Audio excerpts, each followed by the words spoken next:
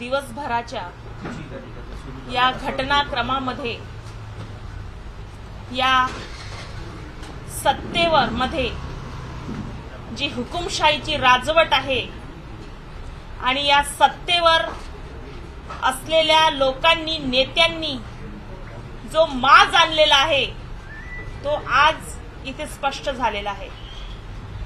एक सर्वसामान्य घराण्यातील अनुसूचित समाजातील महिलेचा इतका यांना घाबरटपणा सुटलेला आहे इतकी यांना भीती वाटलेली आहे की आज मला दहा वाजता त्या व्हॅलिडिटी ऑफिसमध्ये मला बोलवतात आणि माझ्या घरी पत्र येते.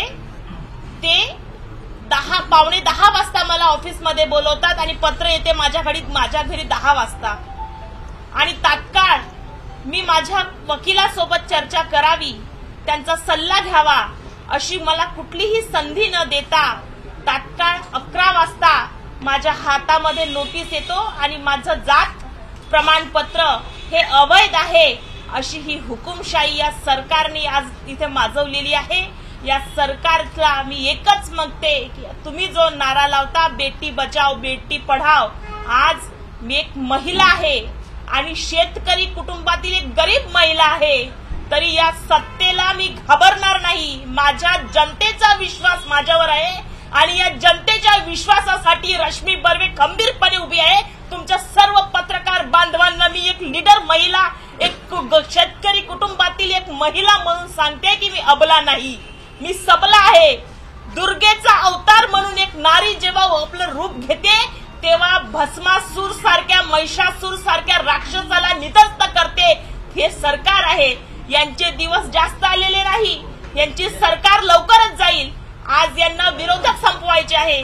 जो जो यांच्या विरोधामध्ये उभा राहतो त्यांना त्यांच्या मागे असल्या प्रकारचे कटकारस्थान हे सरकार करतं. या सरकारला लाज वाटायला पाहिजे. एका शेतकऱ्याच्या एक अनुसूचित समाजाच्या महिलेचं तुम्ही जात प्रमाणपत्र अवैध आहे असं तुम्ही तासाभरात तुम्ही ठरवता तुम्ही होता कोण ठरवणारे? व्हॅलिडिटी ऑफिसरनी पुन्हा पहिल्यांदा एक नोटीस देते. त्याच्यावर पुन्हा पुन्हा एकदा अर्ज काढतो. आणि तिसऱ्यांदा त्याच व्हॅलिडिटी ऑफिसर माझं जात प्रमाणपत्र अवैध आहे म्हणून ठरवतो. ही सरकारची हुकुमशाही आहे बंधूंनो. आणि हुकुमशाही फार काळ चालणार नाही. आज मी नारी आहे माझा पूर्ण समाज नारीचा. आज माझ्यासोबत ताकदीने उभा आहे. तुम्हाला कुठल्या तरी प्रकारे आज या सत्तेतील असणाऱ्या नेते मंडळात सुद्धा लेकरं असतील त्यांना सुद्धा मुली असतील त्यांनी सुद्धा आम्ही त्यांच्या मुलींना आशीर्वाद देतो. आम्ही एक आपली संस्कृती आहे. पण विचार करा एखाद्या गरीबाच्या लेकी बाळीवर जर अशी परिस्थिती येत असेल तर विचार करा तिचं हृदय कसं पाजर फुटत असेल. आज मी सकाळपासून माझे सर्व माझे जिल्हा परिषदचे पदाधिकारी काँग्रेस पक्षाचे सर्व माझे नेते मंडळी आज माझ्यावर विश्वासाने ठामपणाने उभी आहे. आज माझा ग्रामीण भागातील एक एक कार्यकर्ता उपाशी तापाशी सकाळपासून कलेक्टर ऑफिस टू आमच्या उपाध्यक्ष मॅडमच्या बंगल्याच्या या चक्रा मारत आहे. आपण सगळी मीडिया सकाळपासून आमच्या काय आम- उत्तर आहे याच्यासाठी उभी आहे. या सरकारला भीती वाटलेली आहे. एक घाबरट सरकार बनून एका महिलेला महिलेला घाबरते आणि आमच्यावर अशा प्रकारचा एक आरोप करते मी घाबरणारी नाही. मी अजिबात घाबरणारी नाही. आमचे नेता आदरणीय केदार साहेब आमचे नेता आदरणीय मुळक साहेब समस्त काँग्रेसचे सर्व माननीय आदरणीय नेते मंडळी माझा संपूर्ण माझा कार्यकर्ता माझे जिल्हा परिषदचे सर्व माझे मंडळी आज माझ्यासोबत ताकदीने उभी आहे. मी घाबरणार नाही. मी अजिबात घाबरणार नाही. इतकं मात्र आज आपल्या सर्वांना सांगते. तुम्ही जितकं मला अडवाल तितकं मी ताकदीने उभी राहील. जरी आम्ही गरीब असलो जरी आमच्याकडे आमची आर्थिक परिस्थिती आमची कुवत असली आमची परिस्थिती जरी मोठी नसली तरी आमचं मन फार मोठं आहे आणि सत्याच्या आम्ही विचार सत्याच्या मार्गावर आम्ही चालत आहोत. संघर्ष किती आला तरी आम्ही आता यांनी जे फेटाळलं आम्ही उच्च न्यायालयाकडे दाद मागू. आम्ही सर्वोच्च न्यायालयाकडे दाद मागू आणि आम्हाला न्यायालय देवतेवर संपूर्ण विश्वास आहे.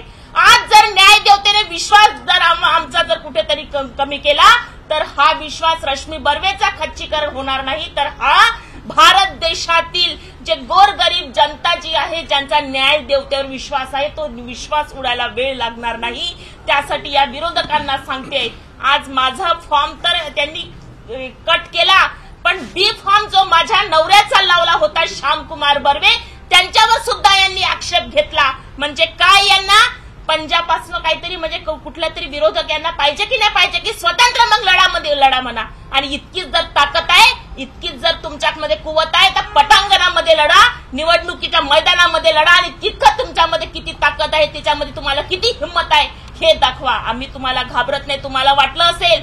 एक महिला आहे तिला दाबू ती रडेल. ती आपले अश्रू आपले तुमच्यासमोर करेल ती बिचारी बनेल. मी बिचारी बनणाऱ्यांपैकी नाही मी आताही सर्वांना सांगते. मी रश्मी बर्वे आहे.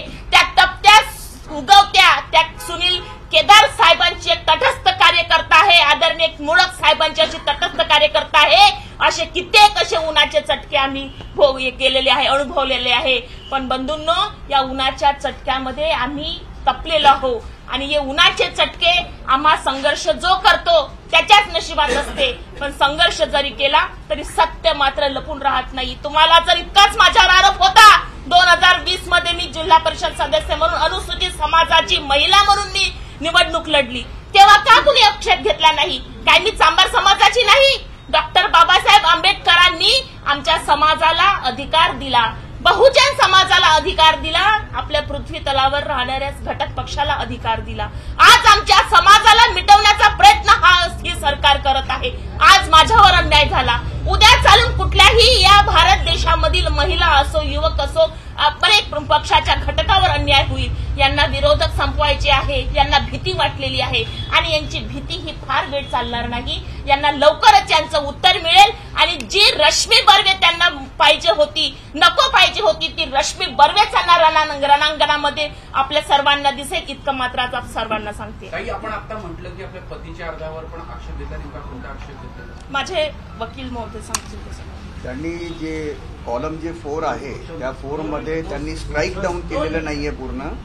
नुसता हा एक हायपर टेक्निकल तांत्रिक जे आहे त्यांनी कॉन्सेप्ट घेतला. पण आम्ही जे आहे ऑब्जेक्शन घेतला की it's a too technical objection it's not a substantial objection आणि जे जजमेंट साईड केलं त्यांनी that was also not applicable त्या जजमेंटमध्ये जे आहे हे म्हटलेलं होतं की पार्टी प्रेसिडेंटनी सिग्नेचर करायला पाहिजे. आणि आमचे नॉमिनेशन फॉर्म जे आहे ते पूर्ण जे टर्म्स आणि कंडिशन्स आहेत ते सर्व फुलफिल झालेले होते. आणि म्हणून आमचे जे आहे ते ॲडिशनल कलेक्टरनी आक्षेप आमचा नोंदला आणि त्यांनी आमचे जे आहे साईड एक्सेप्ट करून त्यांचा अर्ज फेटाळला. ताई अभी आपके पास आता उम्मीदवार पुढ- कोण? पुढचा उमेदवार कोण असणार ताई काय भूमिका आहे पुढे? सध्या तरी निवडणूक आयोगाने म्हणजे आरोनी आज अधिकृत उमेदवार म्हणून माझे पती श्यामकुमार बर्वे यांना अधिकृत उमेदवारी काँग्रेस पक्षाकडनं महाविकास आघाडीकडनं जाहीर केलेली आहे. ताई समितीकडनं तुमची जात प्रमाणपत्र रद्द केलंय तर मग तुमची जात कुठली आहे? काय सांगितलं मी आपल्या सर्वांना आता तेच विचारते मी विरोधकांना सुद्धा तेच विचारते की माझी जर जात प्रमाणपत्र जर माझं अवैध आहे तर त्यांनीच सांगावं की मी कुठल्या समाजाची आहे. मी कुठल्या समाजामध्ये जन्म घेतला मी कुठल्या समाजामध्ये लहानाची मोठी झाली माझ्या आई वडिलांनी कुठल्या समाजामध्ये मला जन्म दिला माझे आई वडील कुठल्या समाजाचे होते ज्यांनी माझा माझं जात प्रमाणपत्र अवैध ठरवलेलं आहे त्यांनी स्पष्ट करावं की मी कुठल्या समाजाची आहे. नाहीतर हा समाज आहे ही गोरगरीब जनता आहे ही एकदा जी उठते तर ज्यांनी आमच्या विरोधात आम्हाला जेव्हा पाय मल्ली करण्याचा प्रयत्न करता त्यांना धूळ दुरुस्त करण्यासाठी आमची गोरगरीब जनता कधी मागे पाहणार नाही. सत्य की पराजय हुई है और झूठ आज सत्य बना हुआ है। आज एक दलित महिला जो दलित समाज में उसका जन्म हुआ, दलित समाज में छोटी से बड़ी हुई और दलित सूची, अनुसूचित प्रवर्ग प्रवर्ग में से उसने चुनाव लड़ा और अध्यक्ष पद अनुसूचित समाज की महिला करके मैंने जो हासिल किया, आज एक अनुसूचित समाज की महिला एक आप सबको आह्वान करती है कि आज मेरी ताकत, मेरा एक गोर गरीब मेरी जनता है, मेरा किसान है, मेरी महिला है, मेरा युवक बांधव है। आप सबको मैं एक सवाल पूछना चाहती हूँ।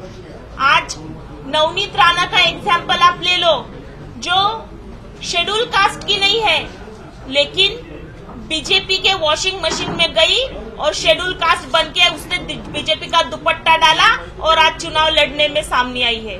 लेकिन एक आज जो सही में सर्व सामान्य एक किसान घर की एक लड़की, एक बहन जो सही में अनुसूचित समाज की एक महिला है, उसका जात प्रमाण पत्र अवैध ठहराया जा रहा है। ये सरकार की जो हुकुमशाही है इस सरकार को थोड़ी ना थोड़ी कुछ ना कुछ लगनी चाहिए। इनके घर में माँ बेटियाँ नहीं है। ये लोगों को गौर गरीब महिलाओं के ऊपर इसे इस तरीके से आरो, आरोप करते हैं इस तरीके से षड्यंत्र रच के एक एक एक एक घंटे में उनको एक उनका जात प्रमाण पत्र अवैध ठहराते हैं। जरा खुद के घर में जाके देखिए। अगर आपकी माताओं को आपकी बहनों को अगर इस तरीके से अगर सवाल पूछाए जाएँगे आपकी माता और आपकी बहनों को अगर इस तरीके से आरोप प्रत्यारोप किए जाएँगे तो उनको उनके दिल पे क्या बीतेंगी? लेकिन हम डरने वाले नहीं है, क्योंकि भारतीय नारी कभी डरी है और ना कभी हारी है। आप सबको बताना चाहूँगी, मैं अबला नहीं हूँ, मैं सबला हूँ।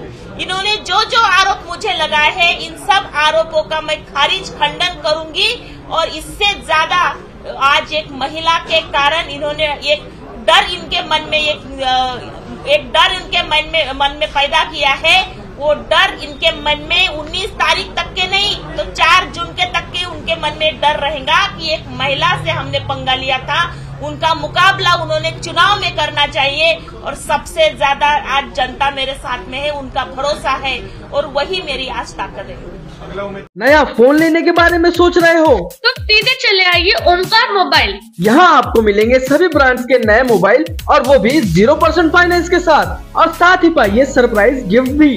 तो आज ही आइए ओमकार मोबाइल गुजरी बाज़ार चौक कांटी वीडियो के प्रायोजक है सुरेश इलेक्ट्रॉनिक्स। अब अपने घर को बनाए स्मार्ट और सुविधाजनक। ले जाइए सभी ब्रांड्स के होम अप्लायंसेज वो भी ज़ीरो परसेंट फाइनेंस पर। हमारा शोरूम आज ही विजिट करें। बैंक ऑफ महाराष्ट्र के सामने कामटी